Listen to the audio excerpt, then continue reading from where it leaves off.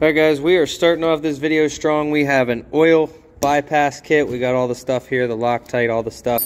Uh, we're working on getting the lengths. I got the cap here. That's going to be the first thing we do. Um, thinking about putting the, I've seen a lot of six seven guys and five nine guys, so put the oil filter right here. Unfortunately, this kit does not come with brackets. You get that that is all you get and you got to make your own bracket. So I have to get with him tomorrow on making a bracket, but I know we're going to use utilize these two holes right here.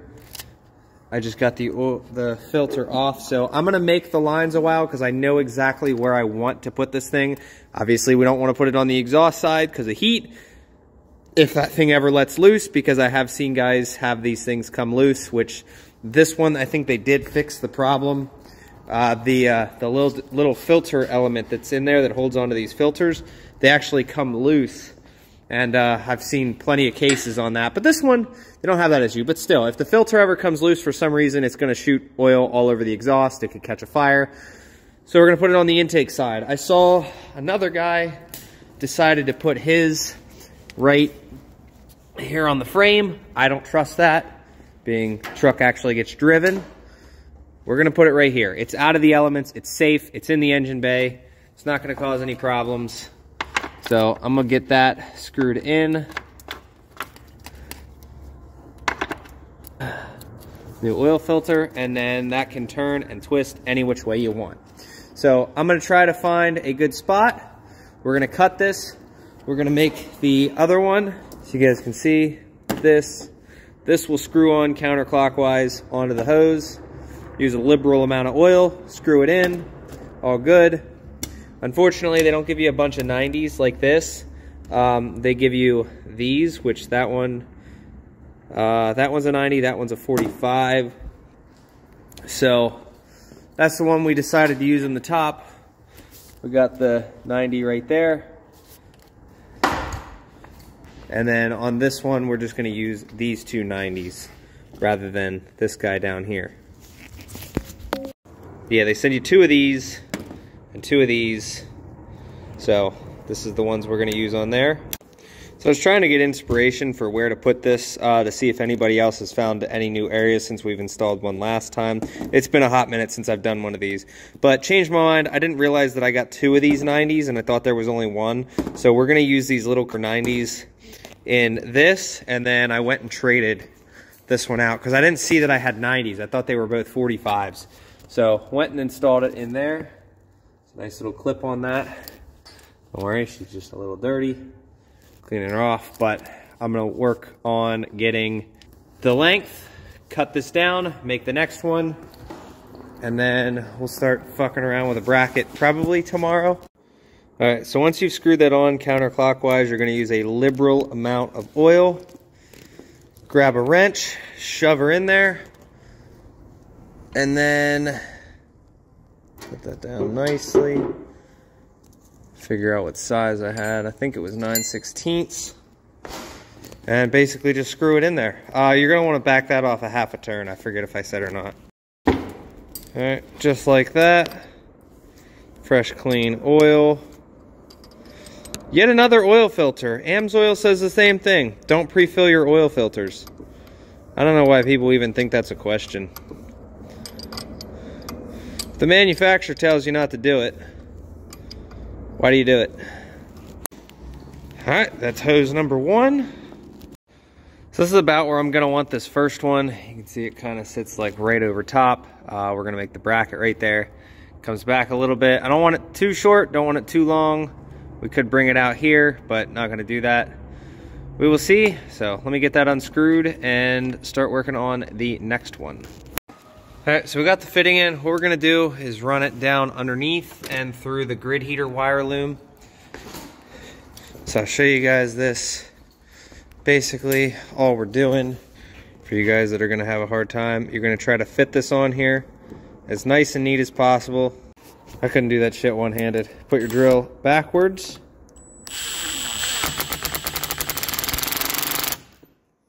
And then we're bottomed out. Go about half a turn. I'm gonna go a little bit more. There we go. And then lubrication. Lube the shit out of it. Don't shove it in there dry. All right, coolant bypass installed. Just gonna sit right about there. We have the little metal clippy things. There you go. Might put something around that one. Or uh, at the very least, like move that one because might be a little bit of a sharp edge.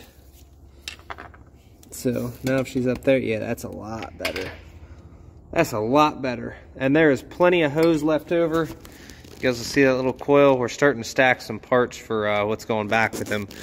But coolant bypass installed. I will make the bracket sometime tomorrow. Probably just take some 90 or some channel or see if there's something we can't buy aftermarket that'll fit those two holes. Fabrication takes time, so I'm not gonna start it for a while until afterwards, but it is away from the exhaust manifold for the most part. And if there is any issues with heat or he needs anything, you know, or worries about it, we can always throw the heat shield back on. But that's generally why we get the new exhaust manifolds, so we don't have to deal with that. So next thing, we have a couple other parts, odds and ends to do. So let's start get to it. All right, so we got some controversy because I know what I was told to do and I know what I have here. So this is correct. We are installing frame mounted fuel filter and water separator. And we were supposed to install a fleece, you know, fuel filter delete.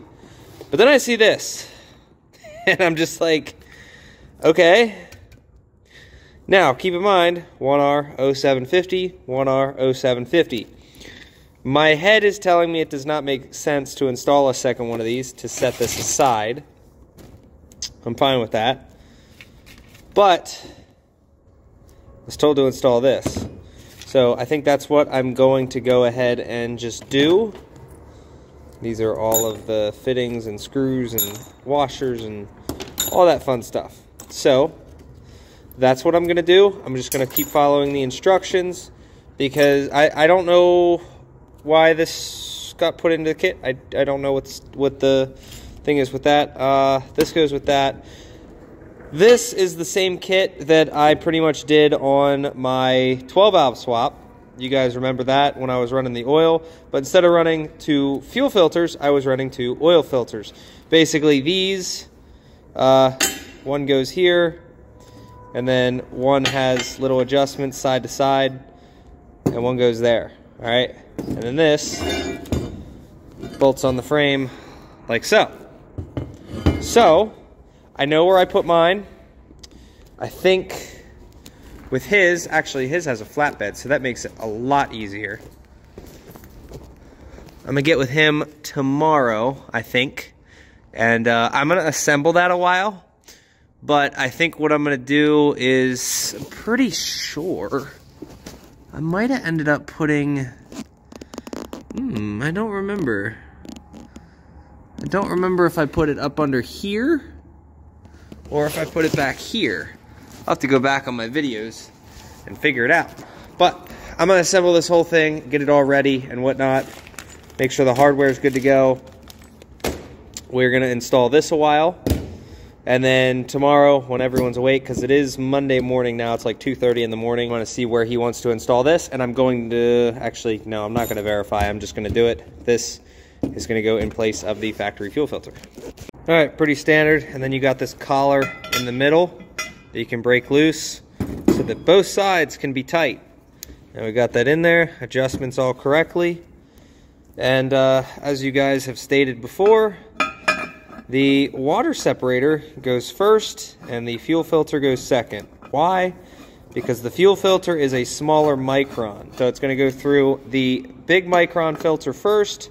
So let's say this one's a 20 just for shits and giggles. And then that one is, I don't know, like a 2. I think that one's a 2. But keep that in mind. So that makes this super easy. I can install that and then they give you these nice little self-tapper bolts. They only give you three of them. They only give you three because uh, they do give you two of the three of these as well. So we're gonna go throw those away. This is all done. This is where we're going to leave it. Oh, other than these guys here. So I got to install these guys on the side. They're an O-ring fit, and then they're a push lock. So I wanted to put, I think right there is about where the best spot to put this bracket is.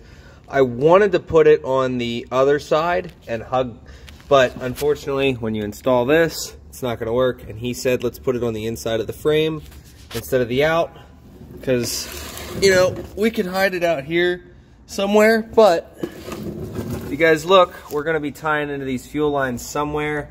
Uh, I have not quite uh, gone through and gotten an answer yet on how we're going to do that, but at the bare minimal, let's at least get these things installed and see what the game plan is on top of that because I know when I did mine I had the 12 valve and the injector the fuel pump was up here the lift pump so I just ran a sump to the filters up to the truck. Well, in this case, the lift pump is still in the tank, and we're not doing a FASS and we're not doing a pull pump.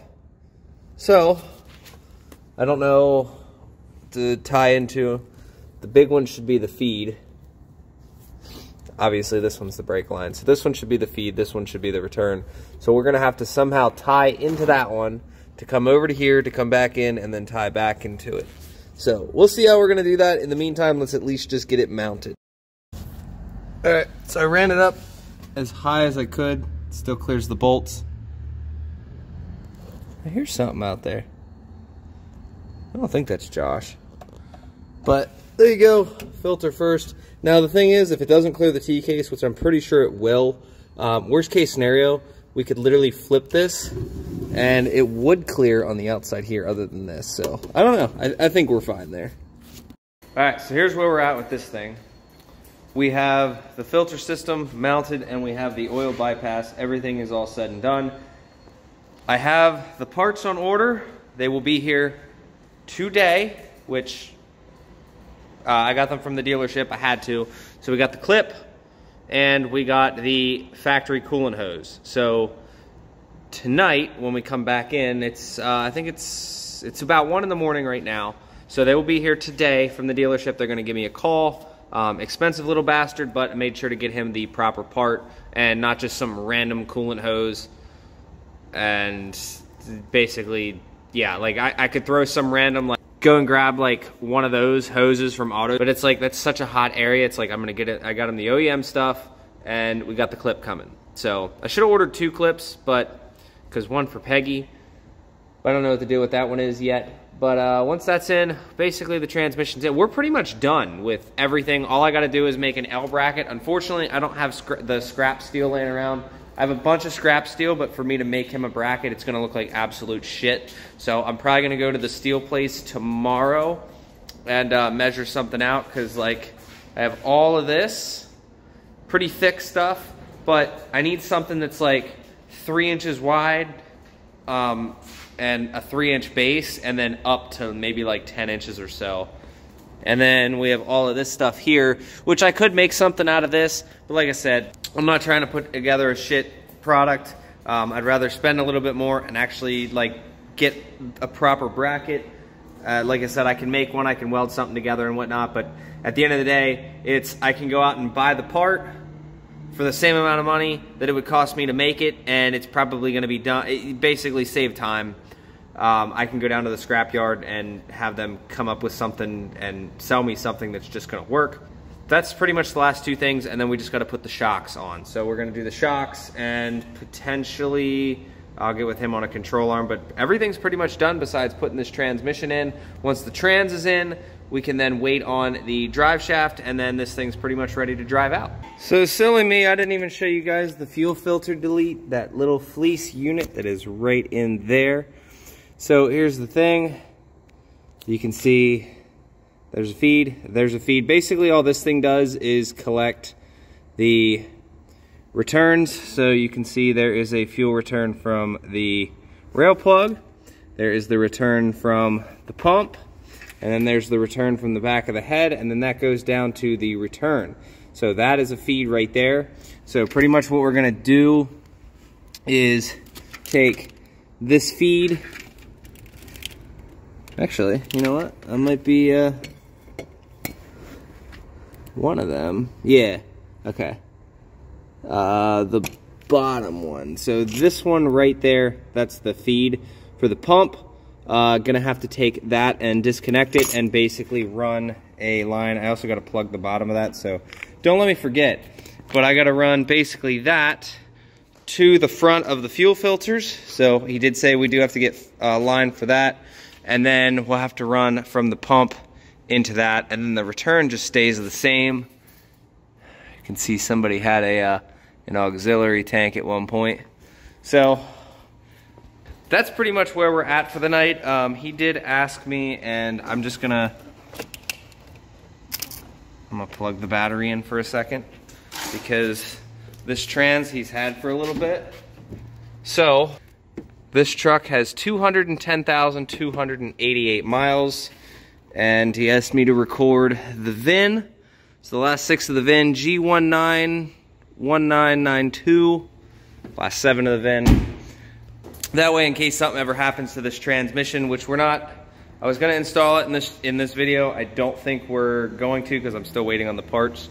And that's pretty much where we're at with this thing. Just waiting on a coolant piece, the clip, and some line for that and a bracket for that. So it's pretty much all there. We also got all new shocks, Fox shocks for this thing. Uh, I said about a lift. We're not doing a lift, we're just replacing the shocks. So you can see these are the rear and then these with the point are the front. So we got all the bushings and the whole kit and caboodle and then all of this.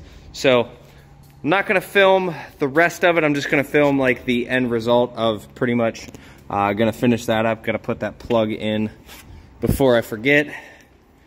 You guys are terrible at reminding me to finish things up. So I think this one here should be the right size. It is not the right size. So I just need to go and grab the correct Allen for that, which I should have one over here. Uh, that one's too small. Huh, I don't, uh, well, I guess I better start doing some digging.